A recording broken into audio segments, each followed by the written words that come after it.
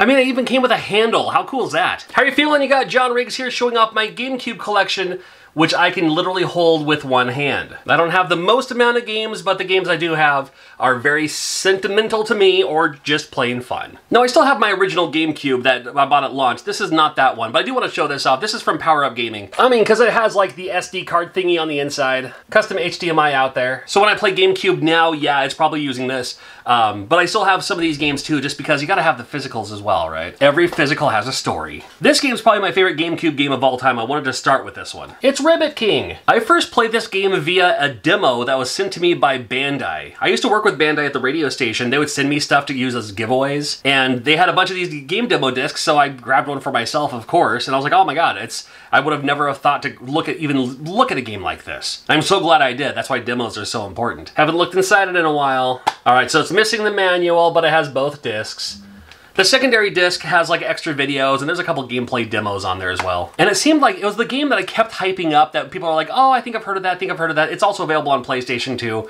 But recently, it started just going up and up in price. And uh, I love it when they still have the original stickers on the back. Yeah, $9.99. All right, just leaving that on there. Absolutely love Ribbit King. I can't tell you why. It's just super, super fun. I had a fun time just playing it. Um, it was just during a, a, good time in my life where, you know, games like this were just awesome. And I'd love it if Bandai would bring this back. Speaking of games that need a reboot, Billy Hatcher from Sega. Now, I don't know if they ever made another Billy Hatcher game on another console. Do they have one for Game Boy Advance? I don't think. I mean, this may be GameCube GameCube exclusive. I didn't even do the research, obviously. All right, let's take a peek inside. Oh, I have the uh, receipt as well as the manual and the disc, and even the uh, even the registration card. Fun. Well, you know, this was such a great time for Sega because there was during the time when they had like you know Crazy Taxi, ChuChu Rocket, and they were just like, you know what? Let's just be as weird as possible. And this game is actually super fun. When you play it, you're like, yep, this is this is a Sega game that would have come out in that late '90s, early 2000s era. Sega, you want to do another uh, reboot of that one? I wouldn't mind. Or even just port this one to the Switch. I'd buy it. Sentimental favorite? Super Monkey Ball 2. Now, I love the Monkey Ball games. I love all of the Monkey Ball games. But this one, especially for Game Boy, it feels pretty heavy. I'm sure the disc and manual's in here. Where's the disc? The disc may be in my other GameCube, my actual physical GameCube. Well, super sentimental to me because this was the game that was gifted to me when I got married. That's right, my friend Timmy um, gifted this to me on our wedding night.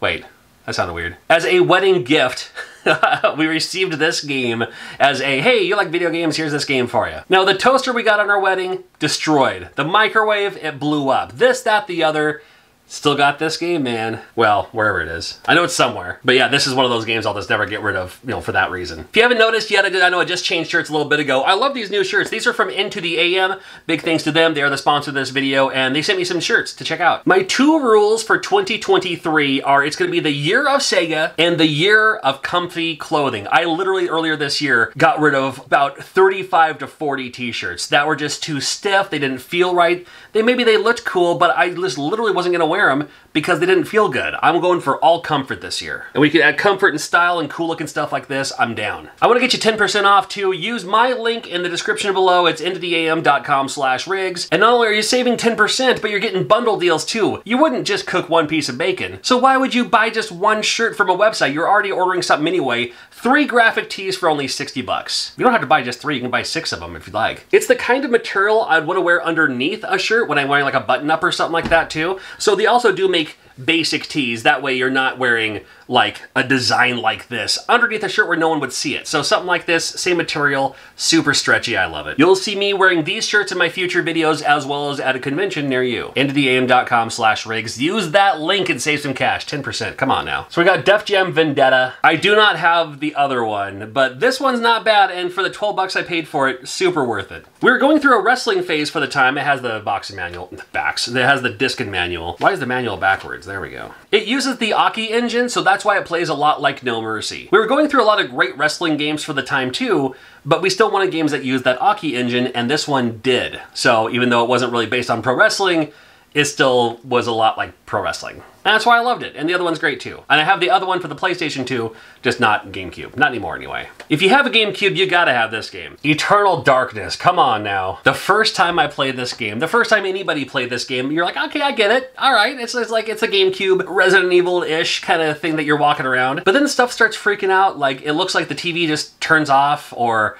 uh, you go to a room and there's like a like so many enemies all at once, or they're all giant size and stuff like that. It just it plays with your head. It's, it's just such a trip. I wouldn't mind an updated version with better controls. I remember the controls on this game were pretty clunky. Great game. If the game wasn't as trippy or as cool or anything, I don't know if I would have gotten much farther in this game saying, ah, it's not even worth it. But everything else made it worth it to want to go through this game. And this was a made by Nintendo game, wasn't it? Well, developed by someone else here. Sword and Knights, is that right? Why you gotta, why you gotta put a logo and I can't even read it? Well, whatever. Anyway, we need one of these, please. Thanks.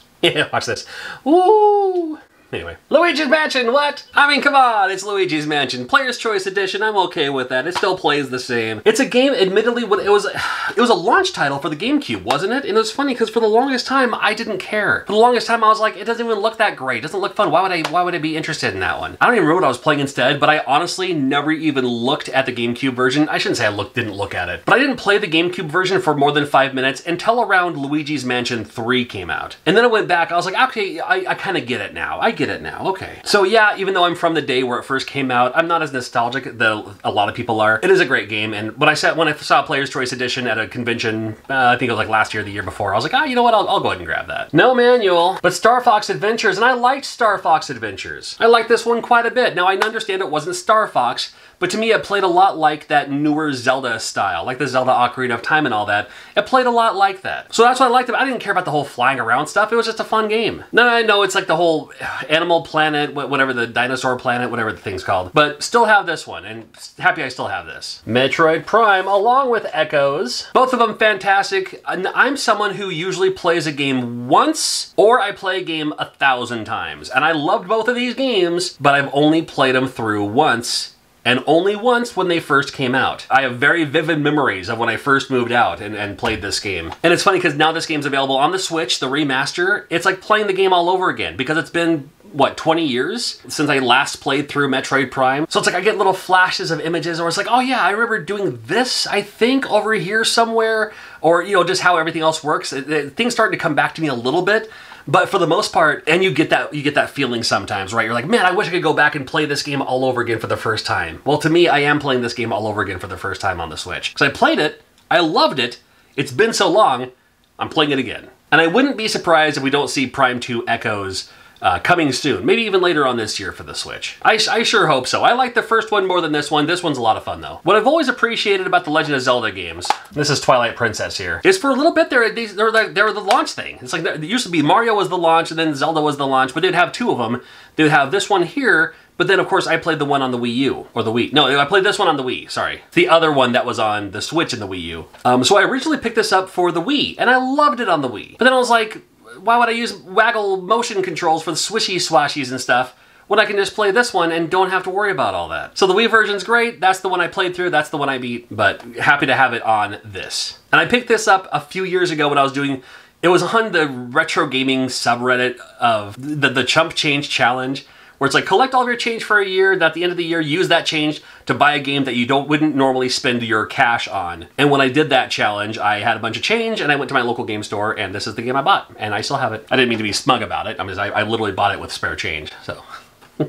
uh, okay, cool. I'm glad to see both of these on here. Twin Snakes, yeah, Metal Gear Solid 1 and 2. The probably my favorite version of Metal Gear Solid 1 is the GameCube version. Uh, I want to like Metal Gear Solid 2 but the cutscenes are way too. It was right at that time where I'm like, is this a movie or we're gonna play the game? And when you play the game, you're not even Snake for like a long time. Now Metal Gear Solid 3, come on now, it's like the best one. But I do love, I have tons of nostalgia for Metal Gear Solid, the first one, and I, I still think it's fun today too. I wouldn't mind a VR patch to play Metal Gear Solid 1 in VR. I know there's a patch, but I want like an official release. Anyway, yeah, Fun, fun, fun. And you can you can kind of see the remnants of the uh, EB Games sticker up there in the corner. I'm sure you saw that. And then finally, I'm sure you know what that is. That is the uh, the Game Boy Player there, Game Boy Player, because you have to have to have the disc to play the actual Game Boy Advance player. Now, this was gifted to me uh, a few years ago, or actually probably more like several years ago now, where I didn't have one of these, and I wanted to get one, wanted to get one, and somebody gifted me this one. It's the Japanese version. Actually, this one's universal,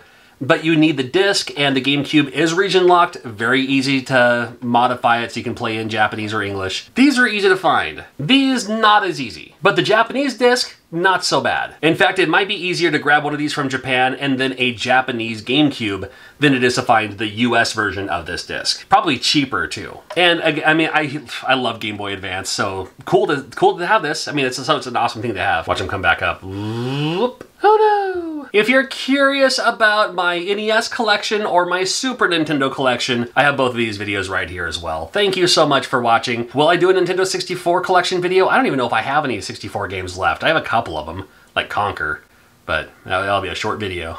I got rid of most of my games.